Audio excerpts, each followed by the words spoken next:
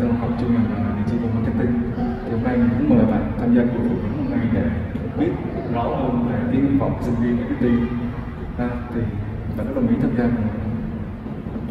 À, thì câu hỏi đầu tiên thì mình hỏi là hiện tại bạn học bên chuyên ngành gì? Marketing. À, thì có rất nhiều chuyên ngành kiểu liên quan khác như là kinh doanh quốc tế hay là truyền thông đa phương tiện thì tại sao bạn lại chọn học cái chuyên ngành này?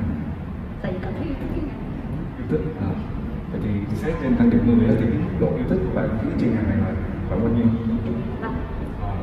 Vậy thì khi mà tham gia vào cái chuyên ngành này thì mong muốn mà bạn nghĩ cái chuyên ngành này đem đến cho bạn là cái gì? Ờ, ờ, chắc là tương lai thôi. à, vậy thì trên thang điểm 10 á, thì tính đến thời điểm hiện tại thì bạn nghĩ là cái mong muốn nó được đáp ứng tầm bao nhiêu phần trăm? Kỹ năng giao tiếp nghĩ là bảy đến hai. à bạn cũng ok. Thì sinh viên của mình thì sau khi học xong thì tất cả ai cũng đều muốn có được công việc ngay lập tức. Thì theo bạn thì làm cách nào mà làm được như thế? Ờ, dồi kỹ năng trong trường rồi tiếp xúc với mọi người ờ, cái gì là tạo mối quan hệ trước đó. à, vậy thì sau 5 năm thì bạn sẽ muốn trở thành một người như, như thế nào trong xã hội?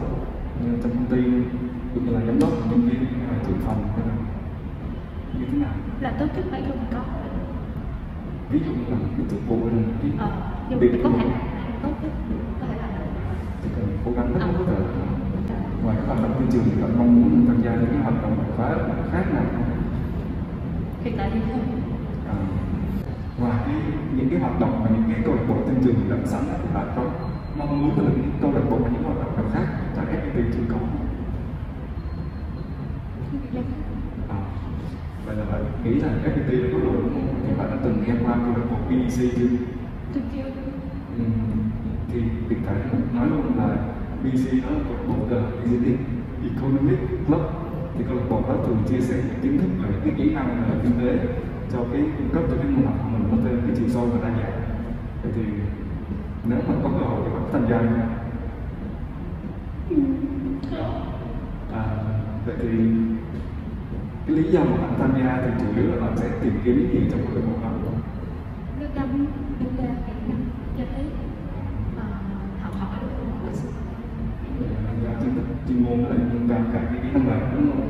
À, thì tôi mình cảm ơn bạn rất nhiều. Thì đó là những cái câu hỏi mà mình muốn hỏi bạn trong cái buổi phỏng vấn ngày hôm nay. Cuối cùng mình muốn được biết thêm về họ tên như là số điện của bạn. Nếu như mà sau này mình có những cái thành lập những cái câu lạc bộ đúng như vậy thì mình có thể dễ dàng liên lạc với bạn ha à, à, vậy thì bạn có tin sau qua trang của mình ha. Cảm ơn bạn rất nhiều. Chúc bạn